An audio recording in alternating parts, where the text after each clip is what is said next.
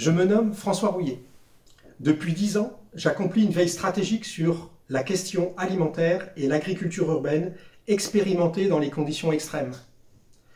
En 2012, j'ai lancé et accompagné en France le mouvement participatif citoyen d'implantation de bacs de nourriture à partager appelés les incroyables comestibles.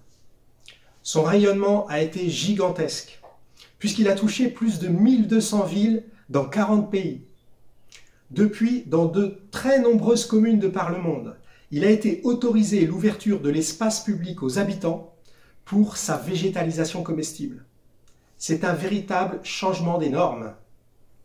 Aujourd'hui, 1er avril 2020, je lance un appel à la mobilisation citoyenne pour que chacun s'engage à contribuer à la production de nourriture dans le partage et le respect du vivant.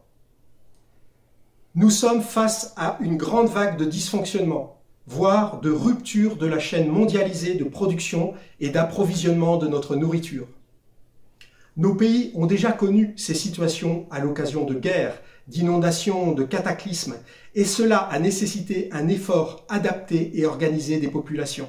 Aujourd'hui, nous possédons toutes les connaissances pour produire dans n'importe quel endroit 100 kg de légumes en 100 jours, sans moyens financiers, même sur du béton et sans terre.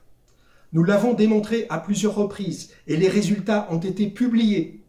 Plusieurs personnes l'ont déjà pratiqué dans de nombreux pays. Comment procéder?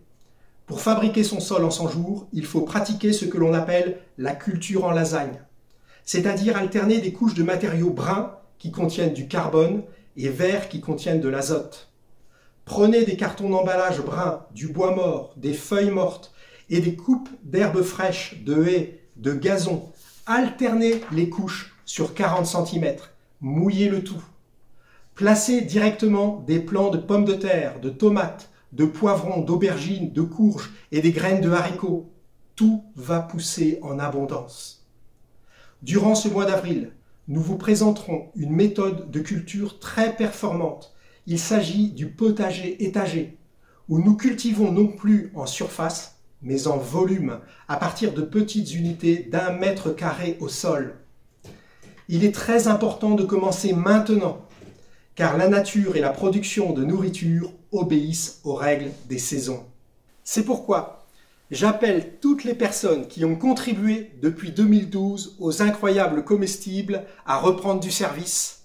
J'appelle aussi tous les jardiniers, afin de créer rue par rue, quartier par quartier, immeuble par immeuble, commune par commune, des potagers étagés d'accompagner et d'aider les personnes qui ne savent pas comment faire lorsque l'on part de zéro, je les invite aussi à partager les graines, les semences, les boutures.